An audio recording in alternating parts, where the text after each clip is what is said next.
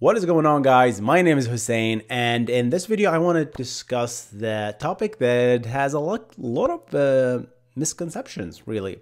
Canceling HTTP request. Can you cancel an HTTP request? Can you cancel a post request? And can you cancel a GET request? And what does it mean to actually cancel a request? So that's what I'm going to discuss in this video. So if you're interested, stay tuned.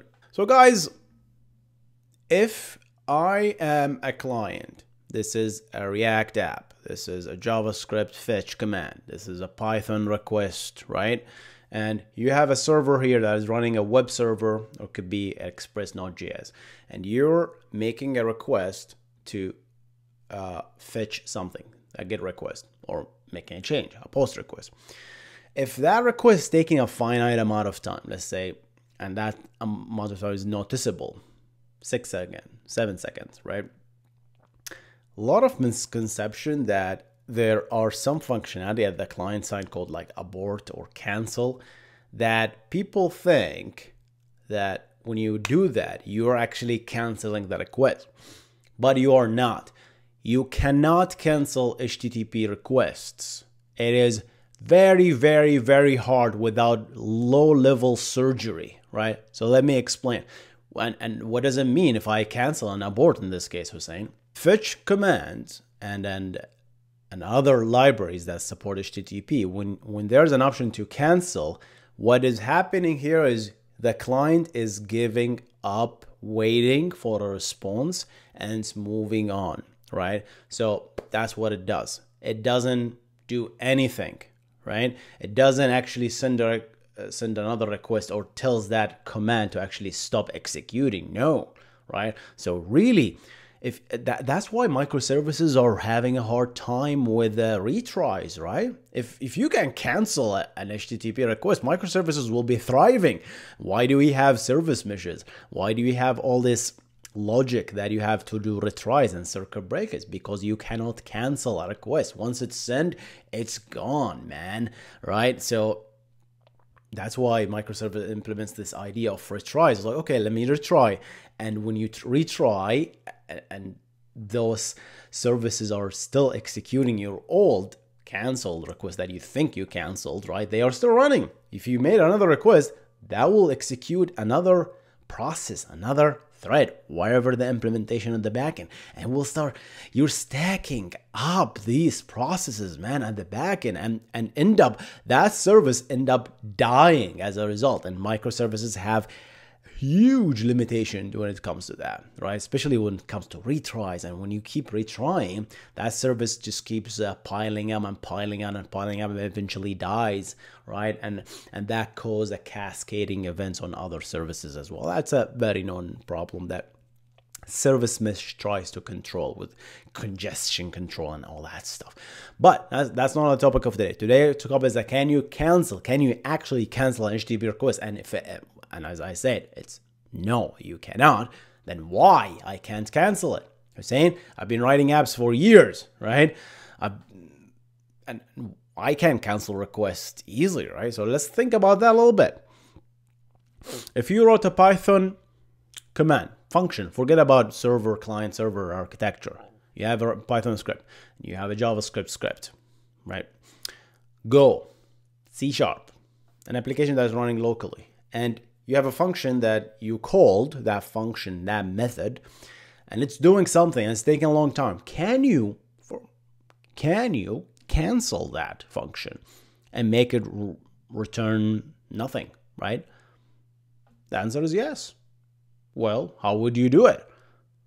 Well, I'm gonna start. I'm gonna initialize a variable called is canceled. That's one way to do it. And then in my function, every every now and then, I'm gonna check this variable right? And uh, if that variable is uh, set, right, then I will abort the function if I am in the middle of a loop or something, right? So you can actually do it, but the moment you introduce this variable, it's a state, right? So you have to initialize it. You have to know when to set it. You have to know when to unset it. And, you, and the moment you start doing this, you have a state diagram. And the moment you have a state diagram, it's a stateful architecture. Now, move this, whatever you built, to the web, right? That's a web server and that's a client. Now it's a completely different thing. What what variable are you talking about? This HTTP is stateless. You cannot make a request, right? And then that request start executing, and all of a sudden it says, "Oh, you know what? Cancel, cancel." You said you might say, "Yeah, Hussein, I'm gonna send another request that actually cancels the first request." That's impossible in HTTP. That's impossible because every request is a stateless by design. So if you send another request, how do you even know that you're gonna go to the same server? You don't. You don't know that. HTTP, if there is a load balancer, is gonna throw you on another server. It's okay, cancel. So like, cancel what, dude? I don't have any requests to cancel. That that that server is over there, right? So canceling is extremely, extremely difficult problem. Is it impossible? No, it's not. You can use a queue or a pub/sub system to actually cancel if you want to. And that comes back to a centralized, even Redis. You can build Redis and uh, architecture in the middle that actually store that state and all your web servers do that. But is it really worth it? That becomes very, very hard.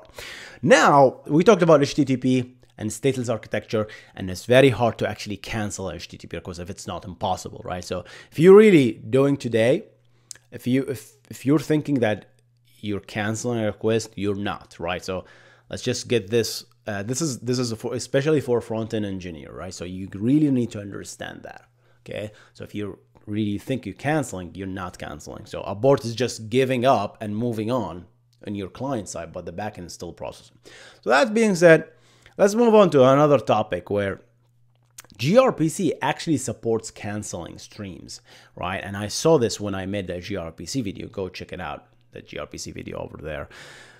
And why does gRPC have this feature? And here's why. gRPC uses HTTP2 as, as a protocol in the low level protocol. And it has a low level access to the streams themselves. And when it does that, it can actually uh, have full control over the server and client, and there is well-known state already because gRPC is not stateless. It's, the, it's a stateful protocol. Despite it being built on a, on a stateless protocols as HTTP, it is stateful. So when it is stateful, gRPC built mechanism for canceling. They built this for us. So now if you're using um, something in the client side and you said, okay, I made a request, you have a handle on that request on the other side. You have something, you have an object that corresponds to the stream, to that single stream that goes to the backend. And you can still send information and the server is, it's a bidirectional. It's not a request response anymore. The server actually have information and it can continue receiving information from the client even though one request has been sent. The server can send um, random information back to the client. So there is a channel, right? And that's the correct way that I like to uh, represent when it comes to stream. It's a channel, right? Stream is always a confusing term to me, right? I like to use the word channel.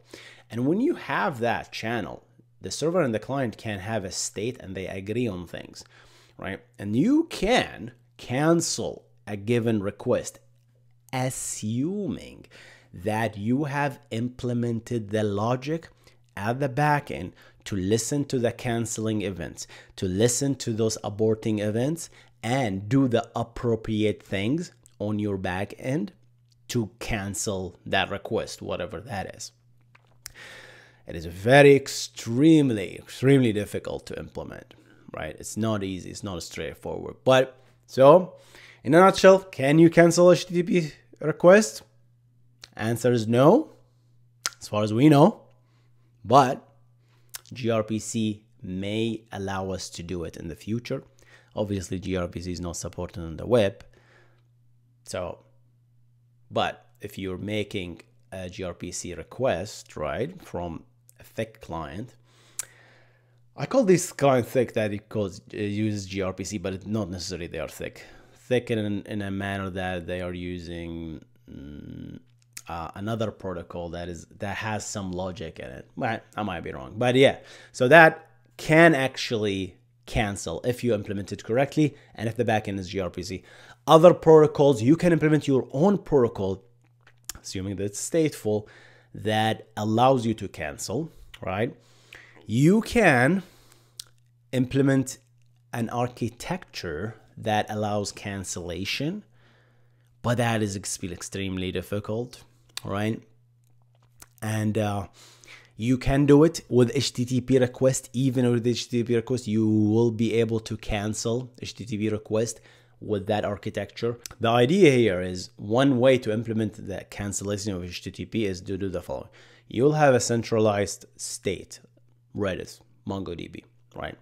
Or, or any other database, right? Where to store the state. Every request should have a unique identifier. So I made a GET request. I made a post request. You uniquely identified, I don't know, GUID or something.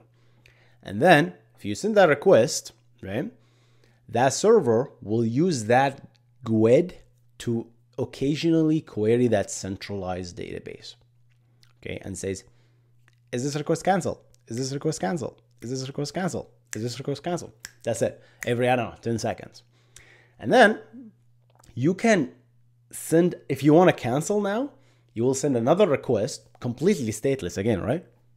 And say, I want to cancel the request with this GUID. And if you do that, on the web server, you will write to that Redis DB, you'll write to that MongoDB, you'll write to that centralized database and say, this request is now canceled. And the, after 10 seconds, when the web server, wherever this web server is, it will stop pulling that request. Oh, it's canceled. Abort, abort, abort, abort, abort, abort. You start cleaning up after yourself. And so there's work at the client side, there's work at the backend, there's work at the architecture level. So it's very complex. Now, question back to you. Is it worth canceling request? I really don't know.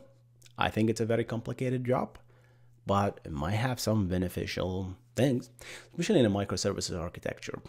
I need to think about that a little bit more. I didn't think about this within a context of microservices. I believe this will solve the the retry meltdown that microservices have, right? And then uh, it's a very interesting paper someone can actually write and think about.